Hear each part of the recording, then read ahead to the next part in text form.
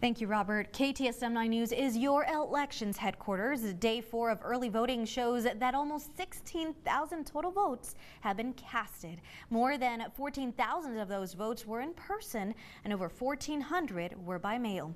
Early voting runs through May 2nd. Election Day is May 6th.